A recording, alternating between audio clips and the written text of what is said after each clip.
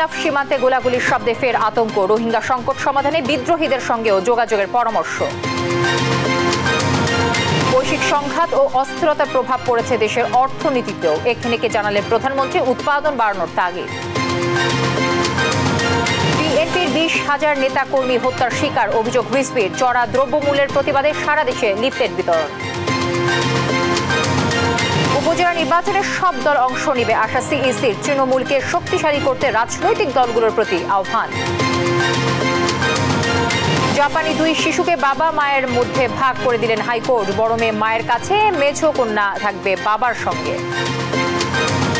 কাল পহেলা ফাল্গুন ও বিশ্ব ভালোবাসা দিবস। জমজমাট ফুলের বাজার, যশোরের গদখালিতে কয়েক কোটির ব্যবসার আশা।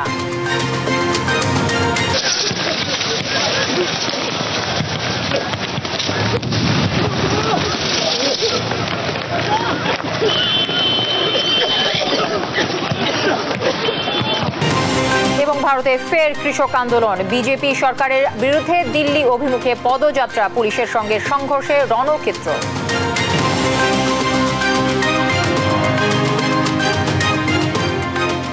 দর্শক আমন্ত্রণ, সংবাদ দুপুরে। দেখছিলেন সংবাদ শিরোনাম, সঙ্গে রয়েছে আমি তাজিয়া জুথি দর্শক, সংবাদ শিরোনামে যেমনটি আপনাদেরকে জানাচ্ছিলাম যে বান্দরবান ও কক্সবাজার সীমান্তের ওপারে থেমে থেমে আবারও শুরু হয়েছে গোলাগুলি। ঘুমধুম সীমান্তের ওপারে ঢেকি, বুনিয়া ও টেকনাফের হোয়াংকংয়ের লম্বা বিলের বিপরীতে কুমিরখালী সীমান্ত চৌকি এলাকায় কালো ধোয়ার কুণ্ডলি দেখা গেছে। সীমান্তের ওপারে শিলখালী ও বলির বাজার এলাকায় সোমবারও থেমে থেমে গুলির শব্দ শোনা যায়। রাখাইন রাজ্যের ওই এলাকায় কয়েকশো রোহিঙ্গার বসতি। এ অবস্থায় নিরাপত্তার কারণে নাইংখং ছড়ির ঘুমধুম উচ্চ বিদ্যালয়ের এসএসসি পরীক্ষা কেন্দ্র পার্শ্ববর্তী দুটি প্রাথমিক বিদ্যালয়ে স্থানান্তর করা হয়েছে। নতুন করে রোহিঙ্গা অনুপ্রবেশ ঠেকাতে সীমান্তে সতর্ক পাহারায় বর্ডার গার্ড বাংলাদেশ বিজিবি ও কোস্টগার্ড টহল চলছে নাফ নদীতেও।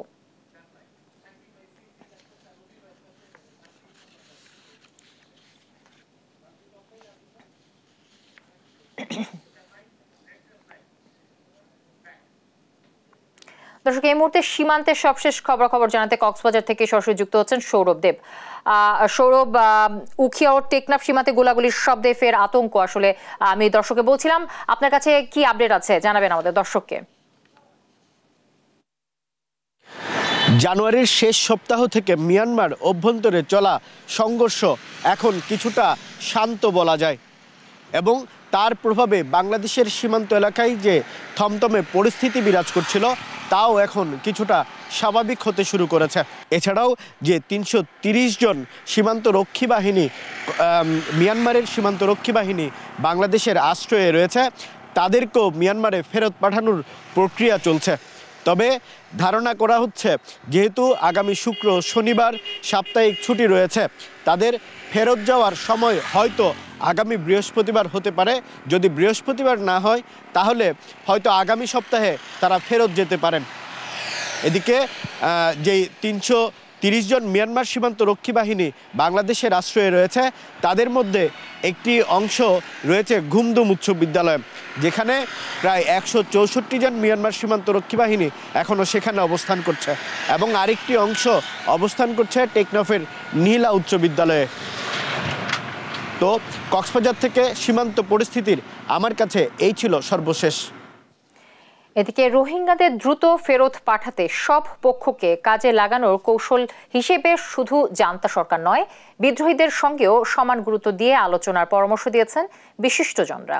তাদের পরামর্শ, এ যোগাযোগ হতে পারে আনুষ্ঠানিক বা গোয়েন্দা মাধ্যমে।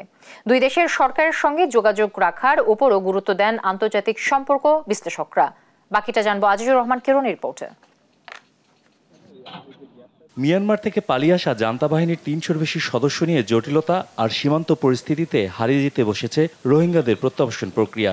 যুদ্ধ থেকে পালিয়ে আসা সদস্যদের ফিরিয়ে নিতে আন্তরিক হলেও রোহিঙ্গাদের ফিরিয়ে নিতে অনেকটাই নীরব মিয়ানমার। সামরিক জান্তা সরকারের বিরুদ্ধে আরাকান এনইউজে বা পিডিএফ এর মতো গোষ্ঠীরা সামরিক যুদ্ধে ক্রমশই যাচ্ছে শক্ত অবস্থানে। বিপরীতে দুর্বল হচ্ছে সামরিক বাহিনী। জান্তা সরকারের রোহিঙ্গা ইস্যুতে কার্যত চুপ থাকলেও ক্ষমতার পরিবর্তন হলে ছোট ছোট দলগুলো রোহিঙ্গা ইস্যুতে কতটা আন্তরিক হবে, সে প্রশ্ন এখন ঘুরপাক খাচ্ছে। সাবেক কূটনীতিক তহিদ হোসেন এবং নিরাপত্তা বিশ্লেষক ইশফাক ইলাহি চৌধুরীর মতে, কোনো একটি পক্ষ নয়, কৌশলগত কারণে বাংলাদেশের দরকার সেখানকার বিভিন্ন গোষ্ঠীর সঙ্গে সম্পর্ক বাড়ানো। রোহিঙ্গা প্রত্যাবর্ষণে এসব দলগুলোর মনোভাব বোঝার উপর গুরুত্ব দেন তারা। আমাদের নিজেদের অবস্থান সুদৃঢ় করার জন্য আমাদের মনে হয় যে বিভিন্ন জাতিগোষ্ঠী এবং এই যে যুদ্ধবান শক্তিগুলোর সাথে আমাদের একটা আমাদের বিভিন্ন এজেন্সি আছে, নিরাপত্তা এজেন্সি, তাদের একটা যোগাযোগ থাকা উচিত। ফ্রেমওয়ার্ক দরকার হলো যে এই এই এই এই জিনিস তাদের কোনো স্বায়ত্তশাসন দিয়ে দেবো, সেটা তারা এগ্রি করতে পারে এবং তখন হয়তো সংকটের এবং সংঘাতের হয়তো সমাপ্তি ঘটতে পারে। যদি ঘটে, সেক্ষেত্রে কিন্তু রাখাইন স্টেটে অবশ্যই আরাকান এবং তাদের পলিটিক্যাল অর্গানাইজেশন যেটা আছে, তারা একটা গুরুত্বপূর্ণ অবস্থান পাবে। এবং তাদেরকে বাদ দিয়ে শুধু কেন্দ্রের সাথে কথা বলে যদি কেন্দ্র রাজিও হয়, আমরা কিন্তু এই এগারো রোহিঙ্গাকে ফেরত দিতে পারব না। কাজে আমি খুব শক্তভাবে বিশ্বাস করি যে আমাদের অবশ্যই এদের সাথে যোগাযোগ প্রতিষ্ঠা করা প্রয়োজন। তবে ঢাকা বিশ্ববিদ্যালয়ের আন্তর্জাতিক সম্পর্ক বিভাগের এই অধ্যাপক মনে করেন সরকারের বাইরে গিয়ে আলোচনা করলে হিতে বিপরীত হতে পারে। বরং সামরিক সরকারকেই এখন রোহিঙ্গা প্রত্যাবাসনে চাপ দেওয়ার পরামর্শ তার। বিদ্রোহী যতগুলো আছে তাদের এজেন্ডা হলো স্বায়ত্তশাসন বাড়ানো। এই তো। তার মানে কি? সে রাষ্ট্র কাঠামোর মধ্যেই তো আছে। সেই হিসেবে আমি তো নেপিদর সাথে কথা বলব।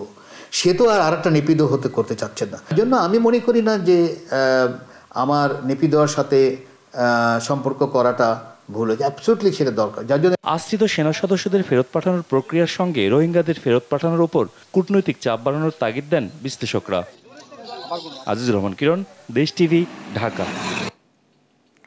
প্রধানমন্ত্রী শেখ হাসিনা বলেছেন, বিশ্বব্যাপী সংঘাত ও অস্থিরতার কারণে পণ্য পরিবহনে প্রতিবন্ধকতা সৃষ্টি হচ্ছে।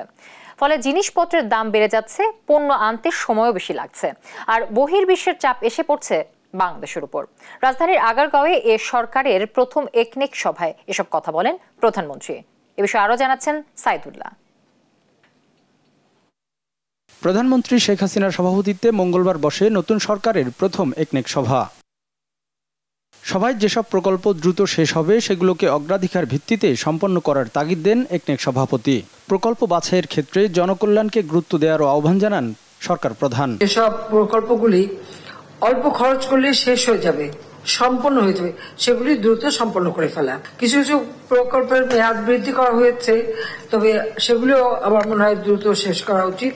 কারণ শেষ না করলে হয়তো খরচও বাড়ে সময়ও মানে কালক্ষেপ হয় জন্য না হয়। একনেক সভাপতি বলেন বিশ্বব্যাপী অশান্ত পরিবেশের কারণে পণ্য পরিবহনে প্রতিবন্ধকতা সৃষ্টি হচ্ছে যার ফলে জিনিসের দামও বেড়ে যাচ্ছে এবং এর প্রভাব পড়ছে দেশের উপর প্রথমে আসলো কোভিড উনিশের অতিমারি তার ধাক্কাটা সারা বিশ্বব্যাপী সবকিছু স্থবির এবং সেখান থেকে যখন কেবল আমরা একটু উত্তরণ ঘটানোর মানে চেষ্টা করে যাচ্ছি, শুধু আমরা সারা বিশ্বেই। তখনই আসলো ইউক্রেন রাশিয়ার যুদ্ধ স্যাংশন কাউন্টার স্যাংশন এখন আবার আরও গাজায় যেভাবে মানে গণহত্যা চলছে এবং আক্রমণ চলছে এবং সেখানে একটা মানে একটা অশান্ত পরিবেশ, বিশ্বব্যাপী সৃষ্টি হতে যাচ্ছে এরকম একটা ব্যবস্থা, যার জন্য পণ্য পরিবহনে আবার প্রতিবন্ধকতা সৃষ্টি হচ্ছে, যার জন্য জিনিসের দামও বেড়ে যাচ্ছে, সময়ও লেগে যাচ্ছে।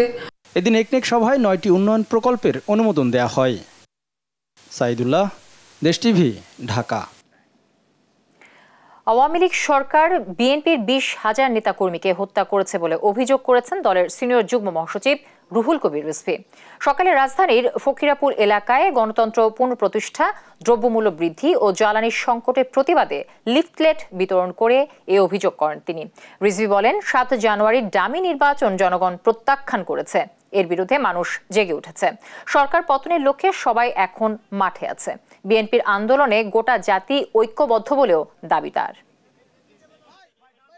প্রহসনের নির্বাচন, দামি নির্বাচন, সাতই জানুয়ারির জনগণের প্রত্যাখ্যাত নির্বাচন, সেই নির্বাচনের প্রেক্ষিতে, সেই নির্বাচন করে তারা এখন আত্ম আহমিকা দেখাচ্ছে তারা জোর করে দখলদারি ক্ষমতা তারা মানুষের সামনে দেখাতে চাচ্ছে এর বিরুদ্ধে মানুষ জেগে উঠেছে এই সরকারের পতনের লক্ষ্যে।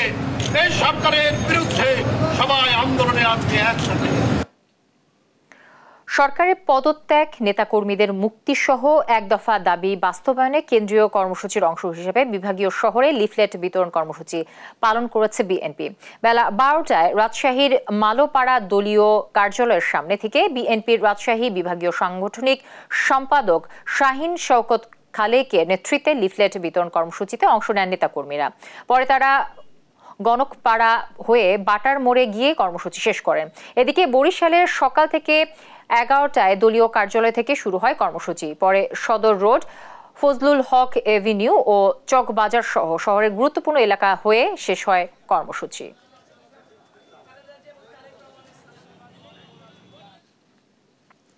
টানা চতুর্থবারের মতো পিছিয়েছে রাজধানীর শাহবাগ থানায় দায়ের করা নাশকতার মামলায় বিএনপি চেয়ারপারসনের বিশেষ সহকারী শিমুল বিশ্বাস, যুগ্ম মহাসচিব হাবিব উল হাবিবুন নবী খান সোহেল সহ সাতাত্তর জনের বিরুদ্ধে মামলার রায়। মামলার অন্য আসামিদের মধ্যে রয়েছেন যুব দলের সাবেক সভাপতি সাইফুল আলম নীরব, সুলতান সালাউদ্দিন টুকু, শেখ রবিউল আলম রবি, নবিউল্লাহ নবী। মামলার অভিযোগ অভিযোগে বলা হয়েছে দু হাজার সতেরো সালের পাঁচ ডিসেম্বর বিএনপি চেয়ারপারসন খালেদা জিয়ার অরফানেজ ট্রাস্ট ও জিয়া চ্যারিটেবল ট্রাস্ট মামলার ধার্য ধার্য তারিখ ছিল। সেদিন খালেদা জিয়া আদালত থেকে বের হওয়ার আগে আসামিরা ওই এলাকার চারদিক থেকে লাঠি সোটা সহ মিছিল সহকারে আব্দুল গনি রোড অবরোধ করে যানবাহন চলাচল বন্ধ করে দেন। তারা পুলিশের মাইক্রো বাস ভাঙচুর করেন। এছাড়া বাস মিনি বাস ও প্রাইভেট কার ভাঙচুর করেন। আসন্ন উপজেলা নির্বাচনে সব দল অংশ নেবে বলে আশা প্রকাশ করেছেন প্রধান নির্বাচন কমিশনার কাজী হাবিবুল আওয়াল। দুপুরে আগারগাঁওয়ে নির্বাচন কমিশন সচিবালয়ে সাংবাদিকদের সঙ্গে আলাপকালে তিনি তৃণমূলকে শক্তিশালী করতে নির্বাচন রাজনৈতিক দলগুলোর প্রতি আহ্বানও জানান। বড় নির্বাচন হয়ে গেছে। নির্বাচনটা ভালো হয়েছে কি মন্দ হয়েছে সেটা আমাদের বিবেচ্য বিষয় নয়, আমরা চেষ্টা করেছি। সামনে আরও অনেকগুলো নির্বাচন আছে, উপজেলা এগুলোকেও কিন্তু খাটো করে দেখার কোনো অবকাশ নেই। এবার নির্বাচনে কোনো দলীয় প্রতীক থাকবে না। এলাকা ভিত্তিক নির্বাচন, এখানে যদি মানুষ এলাকার লোককে নির্বাচন করবেন, পুরো জাতির জন্য নয়, তার এলাকার জন্য। আর বিভিন্ন দল, আমার মনে হয়, এখানে ওই সুযোগটা থাকবে। জাপানি দুই শিশু, জসমিন মালিকা ও তার ছোট বোন সোনিয়া, তাদের জাপানি মা নাকানো এরিকোর কাছে থাকবে। আর মেঝো মেয়ে লায়লা লিনা, বাংলাদেশি বাবা ইমরান শরীফের কাছে থাকবে বলে রায় দিয়েছেন হাইকোর্ট। মঙ্গলবার বিচারপতি মামনুন রহমানের একক হাইকোর্ট বেঞ্চ এ রায় দেন। বড় মেয়েকে নিয়ে নাকানো এরিকো জাপানে যেতেও বাধা নেই বলেও রায় বলা হয়েছে। তবে রায়ে সন্তুষ্ট নন কোনো পক্ষই। জুবাইর রাজিন জানাচ্ছেন এরই বিস্তারিত। জাপানি চিকিৎসক নাকানো এরিকোর সঙ্গে বাংলাদেশি প্রকৌশলী ইমরান শরীফের বিয়ে হয় দুই হাজার আট সালে। দাম্পত্য কলহের জেরে দুই হাজার বিশ সালের শুরুতে বিচ্ছেদ হয় তাদের। দু সন্তান নিয়ে বাংলাদেশে চলে আসেন ইমরান। করোনা মহামারীর মধ্যে দু সন্তানের খোঁজে বাংলাদেশে আসেন নাকানো। এরপর দীর্ঘ আইনি লড়াইয়ের ঘাত প্রতিঘাতে কখনো বাবার কাছে, কখনো মায়ের পক্ষে যায় রায়। পারিবারিক আদালত, ঢাকা জেলা ও দায়রা জজ আদালতে জিতলেও মঙ্গলবার হাইকোর্টে জাপানি শিশু জেসমিনকে মায়ের কাছে আর লায়লাকে বাবার কাছে ভাগ করে দেন হাইকোর্ট। যে বড় মেয়ে, অর্থাৎ জেসমিন, এবং সবচেয়ে ছোট মেয়ে, যিনি জাপানে আছেন, তার নাম সোনিয়া। তারা দুজন মায়ের সঙ্গে থাকবেন এবং মা তাদেরকে লালন পালন করার ক্ষেত্রে পূর্ণাঙ্গ স্বাধীনতা ভোগ করবেন। দেশে করবেন নাকি দেশের বাইরে করবেন, জাপানে করবেন, কোথায় যাবেন, সম্পূর্ণ স্বাধীনতা তার থাকবে। দ্বিতীয় মেয়ে লায়লা, যিনি এখন বাবার কাছে আছেন তিনি বিশেষ বিবেচনায় বিশেষ সার্কামস্টান্সেসের কারণে বাবার কাছে থাকবেন। আজকে আমরা একটু হলেও আইনের বিচার পেয়েছি আলহামদুলিল্লাহ। আইনগতভাবে আজকে যে জাজমেন্টটা হয়েছে সেটা অত্যন্ত অত্যন্ত খুবই আমার দিক থেকে বিইং আইনজীবী আমি বলব চমৎকার একটা রায় হয়েছে। তবে এ রায় সন্তুষ্ট করতে পারেনি কোনো পক্ষকে। বলছেন হাইকোর্টের রায়ের বিরুদ্ধে আপিল করবেন তারা। I am very very very disappointed with this today's judgment, we go to the Supreme Court only for children's welfare. এই রায়ের বিরুদ্ধে অবশ্যই আপিল করব আইনগতভাবে যতটুকু সম্ভব পার্শিয়ালি আমরা আপিল করব মাননীয় বিচারক বড় মেয়েকে মায়ের হেফাজতে দিয়েছেন ওইটুকুনি আমরা আপিল করব course it is natural for me to want to live with all of my sisters together uh, in Japan because it's our home Imran ও নাকানোর সবচেয়ে ছোট সন্তান জাপানে থাকেন তার নানির কাছে। জুবাইর রাজিন, দেশ টিভি, ঢাকা। তৃতীয় ও চতুর্থ শ্রেণির কর্মচারী নিয়োগ দেয়াকে কেন্দ্র করে উত্তপ্ত হয়ে উঠেছে কুষ্টিয়ার ইসলামী বিশ্ববিদ্যালয়। নিয়োগ বাণিজ্যের অভিযোগ এনে ভিসি বিরোধী আন্দোলনে নেমেছেন শিক্ষক, কর্মকর্তা, কর্মচারীরা। আর ভিসির পক্ষ নিয়ে মাঠে নেমেছে শাখা ছাত্রলীগ। ফলে আন্দোলনের মাঠে রূপান্তরিত হয়েছে বিশ্ববিদ্যালয় ক্যাম্পাস। এতে স্থবিরতা দেখা দিয়েছে স্বাভাবিক ও একাডেমিক কার্যক্রমে। বিস্তারিত নাহিদ হাসান তিতাসী রিপোর্টে।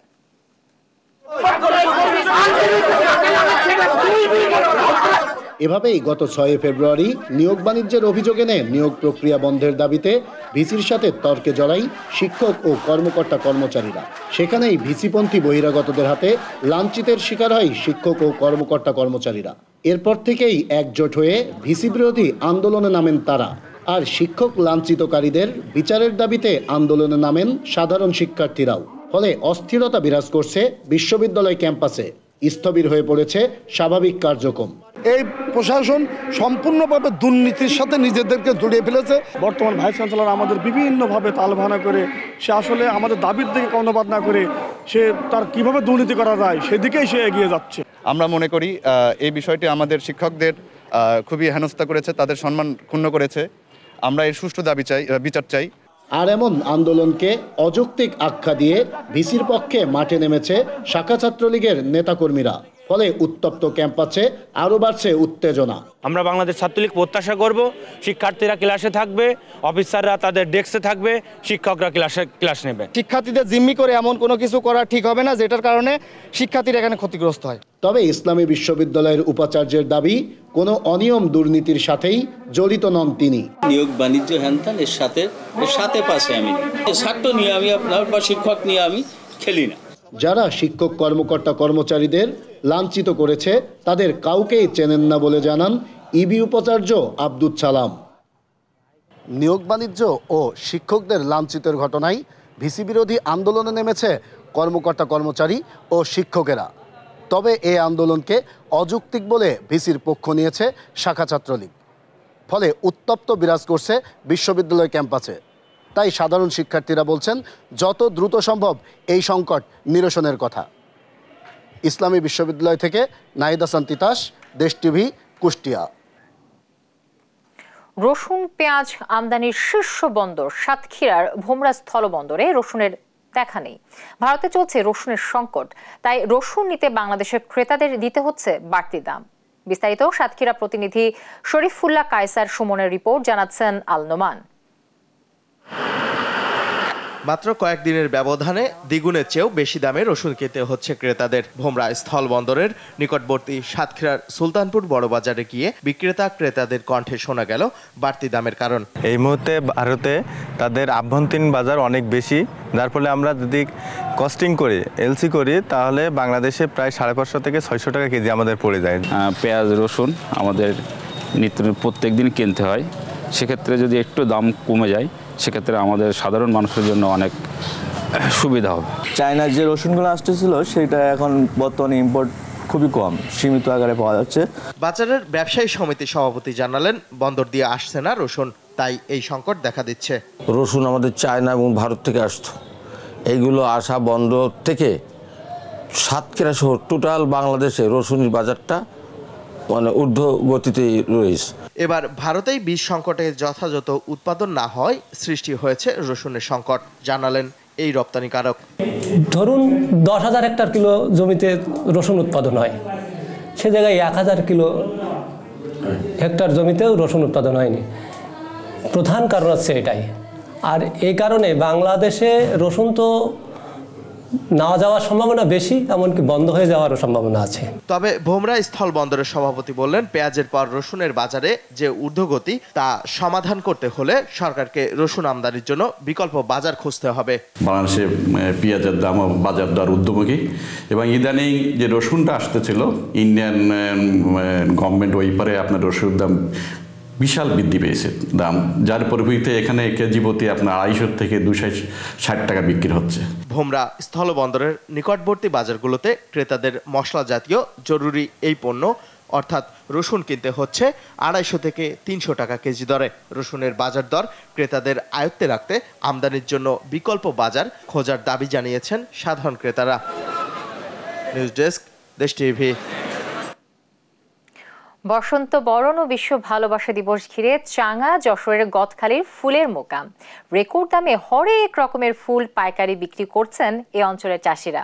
এবার বিশেষ দিবসে প্রিয়জনের জন্য ফুল কিনতে বাড়তি টাকা গুনতে হবে ভোক্তাকে। দুটি দিবস ঘিরে অন্তত চল্লিশ কোটি টাকার ফুল হাত বদল হতে পারে বলে মনে করছেন সংশ্লিষ্টরা। ইন্দ্রজিৎ রায় তথ্য ও ছবিতে সাবরিনা মজুমদার, ডেস্ক রিপোর্ট। প্রতিদিন কাক ডাকা ভোরে যশোর বেনাপল মহাসড়কের দুধারে বিভিন্ন জাতের ফুলের পসরা সাজিয়ে বসেন ফুল চাষিরা। দেশের বিভিন্ন প্রান্ত থেকে আসা পাইকারদের আনাগোনায় সরব বোকাম রোববার পাইকারি বাজারে প্রতিটি গোলাপ বিক্রি হয়েছে মান ভেদে বাইশ থেকে ২৬ টাকা দরে। চায়না গোলাপ তিরিশ থেকে পঁয়ত্রিশ, রজনীগন্ধা চোদ্দ থেকে ষোলো, গার্ডিওলাস বাইশ থেকে পঁচিশ জারবেরা ষোলো থেকে আঠারো টাকা দরে বিক্রি হচ্ছে। ফুলের দাম এক সপ্তাহের ব্যবধানে হয়েছে দ্বিগুণ। অন্যদিকে খেতে ভাইরাস লেগে ফুলের উৎপাদনে ধস নেমেছে। কৃষক বলছেন ফুলের দাম বেশি হলেও লাভের পরিমাণ কম। বর্তমানে এই অন্যান্য বছরের বছরের মাল অনেক মাল নষ্ট হয়ে যাওয়ার কারণে দাম বাড়তো। যে পরিমাণে ফুল হওয়ার কথা ছিল ওইটা আমরা পর্যাপ্ত পরিমাণ পাইনি। চাষিদের আবহাওয়া কুয়াশার জন্য ভাইরাসের জন্য অনেক চাষির ফুল নষ্ট হয়ে গেছে। আমি আজকে চারটে ফুল নিয়ে আসি বাইশ টাকা কুড়ি টাকা বিক্রি হয়েছে আর কি। ফুলের দাম রেকর্ড পরিমাণ বেড়েছে পাইকারি দাম নাগালের বাইরে খুচরা দাম আরও বাড়বে বলছেন পাইকারি ব্যবসায়ীরা। এবারে বাজার ডবল স্টিক জাতীয় ফুলের তো হাতে দিয়ে কাজা নাই। এত বেশি হলে পরে আসলে কাস্টমার বিভ্রান্তিত পড়ে দেয়। অন্যবার থেকে এবার অনেক বেশি প্রায় তুলনামূলক অনেক বেশি। আসন্ন বসন্ত বরণ ও ভালোবাসা দিবসে অন্তত চল্লিশ কোটি টাকার ফুল বিক্রি হবে বলে আশাবাদী সংশ্লিষ্টরা। লক্ষ্যমাত্রা আমরা নির্ধারণ করেছিলাম সাতটা অনুষ্ঠানকে ঘিরে একশো কোটি টাকা। ইতিমধ্যে আমাদের এই বাজার থেকে পনেরো থেকে বিশ কোটি টাকার ফুল বিক্রি হয়ে গেছে এবং আগামী বসন্ত বরণ এবং ভালোবাসা দিবস উপলক্ষে এই বাজার থেকে আগামী আরও দুই দিন আছে ফুল বিক্রি হবে। আমরা পঁয়ত্রিশ থেকে চল্লিশ কোটি টাকা বিক্রি হবে। ঝিকরগাছা উপজেলার পাঁচ ইউনিয়নে ছয়শো ত্রিশ হেক্টর জমিতে ফুলের চাষ হয়েছে। জেলায় এবছর ফুল বিক্রির লক্ষ্যমাত্রা ধরা হয়েছে প্রায় একশো কোটি টাকা। News desk Desh TV. জানাব আন্তর্জাতিক প্রসঙ্গ। কৃষক আন্দোলনে ফের উত্তাল ভারতের পাঞ্জাব, হরিয়ানা সীমান্ত। প্রতিশ্রুতি ও দাবি রক্ষা না করায় ভারতের ক্ষমতাসীন বিজেপি সরকারের বিরুদ্ধে আন্দোলনরত কৃষকরা রাস্তায় নামলে নিরাপত্তা বাহিনীর বাধার মুখে পড়েন। এক পর্যায়ে পুলিশ টিয়ার গ্যাস ছুড়লে রণক্ষেত্রে পরিণত হয় গোটা এলাকা। দাবি আদায়ে মঙ্গলবার সকাল থেকে দিল্লি অভিমুখে ট্রাক্টর যাত্রা শুরু করেন পাঞ্জাব, হরিয়ানা সহ বিভিন্ন রাজ্যের কৃষকরা। দুহাজার বিশ সালে নতুন প্রণয়ন করা কৃষি আইনের বিরুদ্ধে আন্দোলন শুরু করেন ভারতের কৃষকরা। নানা ঘটনা প্রবাহের মধ্য দিয়ে দু হাজার একুশ সালে এই আইন বাতিল করে কেন্দ্রীয় সরকার, তবে তা কার্যকর না হওয়ায় আবারও আন্দোলন শুরু করেছেন ভারতের কৃষকরা। এ বিষয়ে আরও জানাচ্ছেন মুর্শিবানুসাদ দুই হাজার বিশ সালে পাঞ্জাব এবং হরিয়ানার লাখো কৃষকের আন্দোলনে উত্তাল হয়ে ওঠে ভারত। খোলা আকাশের নিচে নভেম্বরের শীতের মধ্যেই দিল্লি চলো নামের আন্দোলন শুরু করেন তারা সে সময় নতুন কৃষি আইন প্রণয়ন করে ভারতের কেন্দ্রীয় সরকার আর এই আইন বাতিল সহ তিনটি দাবি পেশ করেন কৃষকেরা এক ফসলের ন্যূনতম ক্রয় মূল্য বৃদ্ধি দুই কৃষি ঋণের শর্ত সহজ করা এবং সুদ মৌকুফ এবং তিন স্বামীনাথন কমিশনের সুপারিশগুলোর বাস্তবায়ন डॉक्टर स्वामीनाथन कमीशन की रिपोर्ट के अनुसार फसलों के दाम दें गन्ने को भी सी टू हंड्रेड के साथ जोड़ दें और उसी के साथ जो लखीमपुर खीरी का इंसाफ मिलना चाहिए सब केस वापस होने चाहिए बिजली संशोधन बिल वापस लिया जाना चाहिए और पोल्यूशन एक्ट से खेती बाहर निकले কিন্তু দুই বছর পেরিয়ে গেলেও এখন পর্যন্ত এই দাবিগুলো বাস্তবায়নে কোনো পদক্ষেপ নেয়নি ক্ষমতাসীন বিজেপি সরকার বলে অভিযোগ কৃষক নেতাদের আর তাই ফের মাঠে নেমেছেন পাঞ্জাব হরিয়ানা উত্তরপ্রদেশ মধ্যপ্রদেশ সহ বিভিন্ন রাজ্যের কৃষকরা কৃষক সংগঠনের দুই জোট, কিষাণ মজদুর মোর্চা এবং সংযুক্ত কিষাণ মোর্চা নয়াদিল্লি অভিমুখে পদযাত্রার ডাক দিয়েছে। এই ইস্যুতে সোমবার কেন্দ্রীয় সরকারের খাদ্য এবং ভোক্তা অধিকার বিষয়ক মন্ত্রী পীযূষ গয়াল এবং কৃষিমন্ত্রী অর্জুন মুন্ডার সঙ্গে মধ্যরাত পর্যন্ত বৈঠক করেন সংগঠন দুটির নেতারা। তবে বৈঠক থেকে কোনো সুরাহা না আসায় মঙ্গলবার সকাল থেকেই পাঞ্জাব, হরিয়ানা এবং মধ্যপ্রদেশের কৃষকরা পদযাত্রা এবং ট্রাক্টর যাত্রা শুরু করেছেন বলে জানায় ভারতের একাধিক গণমাধ্যম। এদিকে সোমবার কৃষকদের কর্মসূচি ঘোষণার পরপরই নয়াদিল্লিতে নেওয়া হয়েছে কঠোর নিরাপত্তা ব্যবস্থা। দিল্লির তিন সীমান্ত পথ, সিংহু তিকরি এবং গাজীপুরের সড়কে দেয়া হয়েছে ব্যারিকেড। মোতায়েন করা হয়েছে পুলিশ। দিল্লির সঙ্গে থাকা এই সীমান্ত এলাকাগুলোতে ট্রাক্টর নিয়ে মিছিল বন্ধ ঘোষণা করা হয়েছে। এছাড়া তিন প্রদেশের কৃষকরা যেন একত্রিত না হতে পারেন, তার জন্য হরিয়ানা এবং মধ্যপ্রদেশের নিরাপত্তা জোরদার করা হয়েছে। কিষাণ মজদুর মোর্চা অন্তর্ভুক্ত সক্রিয় কৃষক সংগঠনের সংখ্যা আড়াইশোটি এবং সংযুক্ত কিষাণ মোর্চাভুক্ত সংগঠনের সংখ্যা দেড়শোটি। News desk, Desh TV. পাকিস্তানের জাতীয় নির্বাচনে জয়ী হয়েও কেবল একক সংখ্যাগরিষ্ঠতা না পাওয়ায় সরকার গঠন থেকে অনেকটাই ছিটকে গেছে সাবেক প্রধানমন্ত্রী ইমরান খানের দল, পিটিআই। জোট সরকারে গিয়ে ক্ষমতা ভাগাভাগি পরিবর্তে পার্লামেন্টে শক্তিশালী বিরোধী দল হওয়ার পক্ষে দলটির বেশিরভাগ শীর্ষ নেতা। আর নির্বাচনে সেনা সমর্থিত নওয়াজের পিএমএলএন হেরে যাওয়ায় পিটিআই এর বিরুদ্ধে দমন পীড়নে দলটির প্রত্যক্ষ সমর্থন ও নীরব ভূমিকাকেই দায়ী করছেন সংশ্লিষ্টরা। বাকিটা জানব অন্যয় কর্মকারের রিপোর্টে। সদ্য সমাপ্ত জাতীয় নির্বাচনের এক মাস আগেও বিশেষজ্ঞরা বলেছিলেন, নিরঙ্কুশ সংখ্যাগরিষ্ঠতা নিয়েই ক্ষমতায় আসতে যাচ্ছে পিএমএলএন চতুর্থবারের মতো প্রধানমন্ত্রী হবেন দলটির নেতা চুয়াত্তর বছর বয়সী নওয়াজ শরীফ। এর বড় কারণ হিসেবে সে সময় বিশ্লেষকরা নওয়াজ শরীফকে পাকিস্তানের ক্ষমতাধর সেনাবাহিনীর আশীর্বাদ পুষ্ট হিসেবে উল্লেখ করেছিলেন। শুধু বিশ্লেষকরাই নন, নওয়াজ ও তার দলও জয়ের ব্যাপারে এতটাই আত্মবিশ্বাসী ছিল যে ভোট গ্রহণ শেষ হওয়ার কয়েক ঘণ্টার মধ্যেই আগে থেকে প্রস্তুত করে রাখা বিজয় ভাষণ দিয়ে দেন তিনি। এরপর ভোটের ফল আসতে থাকলে উল্টে যেতে থাকে পাশার দান।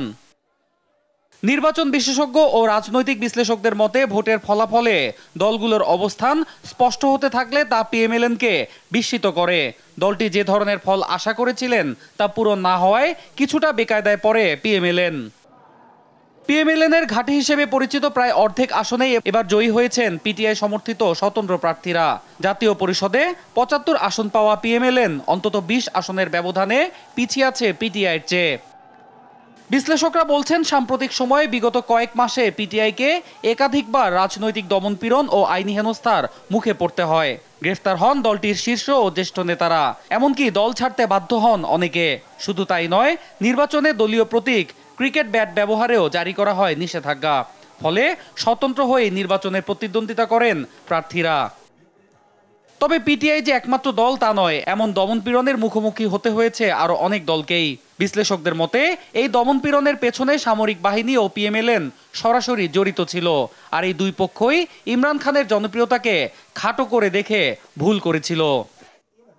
তাদের মতে পিটিআইয়ের বিরুদ্ধে দমনপীড়নের কোনো ধরনের নিন্দা জানায়নি পিএমএলএন। উল্টো, পিটিআইকে সম্পূর্ণভাবে বসে আনার প্রধান ভূমিকা পালন করে দলটি। আর এ কারণে জনগণ তাদের প্রতি ক্ষুব্ধ হয়, যার প্রতিফলন ঘটে নির্বাচনের ফলাফলে। অন্য Karmakar, news desk, Desh TV. গাজায় ছয় সপ্তাহের যুদ্ধবিরতিতে ইসরায়েল ও হামাসকে রাজি করাতে চেষ্টা চলছে বলে জানিয়েছেন মার্কিন প্রেসিডেন্ট জো বাইডেন। অন্যদিকে অবরুদ্ধ গাজায় হত্যাযজ্ঞ বন্ধে ইসরায়েলের ওপর চাপ সৃষ্টি করতে মার্কিন প্রেসিডেন্টের প্রতি আহ্বান জানান জর্ডানের রাজা আবদুল্লাহ। হোয়াইট হাউসে প্রেসিডেন্ট বাইডেনের সঙ্গে সাক্ষাতের সময় এই আহ্বান জানান তিনি। আরও জানাচ্ছেন মুশিবানুসাদ গেল চার মাস ধরে গাজায় বর্বরতা চালিয়ে যাচ্ছে ইসরায়েলি বাহিনী। হামাসকে নির্মূল করতে ভয়াবহ হত্যাযজ্ঞ চালাচ্ছে আইডিএফ। সশস্ত্র গোষ্ঠীটিকে নিশ্চিন্ন করার অভিযানে প্রায় তেইশ লাখ ফিলিস্তিনিদের এক এক সময়ে এক এক স্থানে সরে যাওয়ার নির্দেশ দিয়ে আসছে তেল আবিব। এরই মধ্যে প্রাণ ভয়ে রাফা এলাকায় আশ্রয় নিয়েছে লাখো ফিলিস্তিনি। কিন্তু সেখানেও ছাড় দিল না ইসরায়েল। রাফায় স্থল অভিযানের ঘোষণা দিয়েছে তেল আবিব। ইতিমধ্যে বিশ্ব নেতাদের চাপ ও আহ্বানকে অগ্রাহ্য করে রাফায় বিমান হামলা শুরু করেছে ইসরায়েলি বাহিনী। এদিকে হোয়াইট হাউসে গাজা ইস্যুতে বৈঠক করেছেন জর্ডানের রাজা আবদুল্লাহ এবং মার্কিন প্রেসিডেন্ট জো বাইডেন। এ সময় প্রেসিডেন্ট বাইডেন বলেন গাজায় যুদ্ধবিরতির জন্য হামাস এবং ইসরায়েলকে চাপ দেয়া হচ্ছে। ছয় সপ্তাহব্যাপী এই বিরতির জন্য চেষ্টা অব্যাহত আছে বলে জানান তিনি। তিনি আরও বলেন গাজায় ইসরায়েলি অভিযানে নিহতদের বেশিরভাগই শিশু ও নারীসহ নিরীহ বেসামরিক। অন্যদিকে কিং আবদুল্লাহ বলেন, গাজায় যদি ইসরায়েল স্থল অভিযান শুরু করে, তাহলে এর যে পরিণতি হবে, তার ভার বিশ্ববাসী বইতে পারবে না।